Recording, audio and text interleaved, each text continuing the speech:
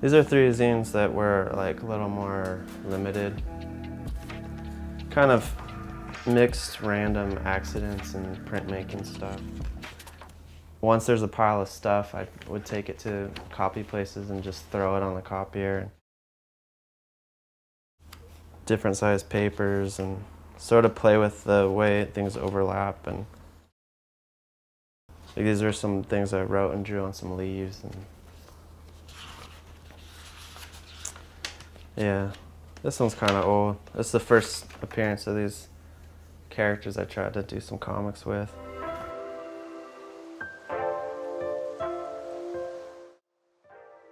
see I think this one was after that this is kind of a loose stencil type thing with a paintbrush.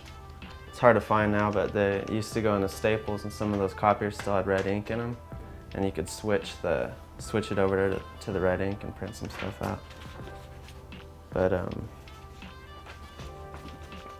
I don't know, you know, it's funny, like I don't really have a plan for these when I start them out, but they, I think in laying things out and sort of picking what can go next to another thing, it starts to form some sort of loose, uh, I don't know, not, not really a narrative, but maybe just like the relationship of one thing to the next. And for me, for me, there's something interesting. Like I feel, I almost feel like in the process of making them, I um, kind of discover what I was making in the first place.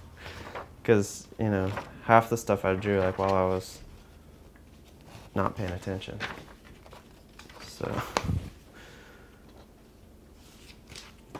this one is a little more recent. You know, there's kind of like, uh, this is all on old blueprint paper. So sometimes it's just like if I found a place that would make blueprints, then that, you know, I just go make this page and I don't know where it's going to end up. Or this uh, one time we borrowed a mimeograph machine at the old studio, so I made this page on a mimeograph.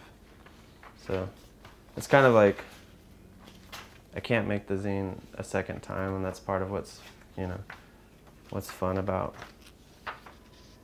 about the whole process. This is the actual that's the drawing that the installation kind of came from. So, more blueprint paper.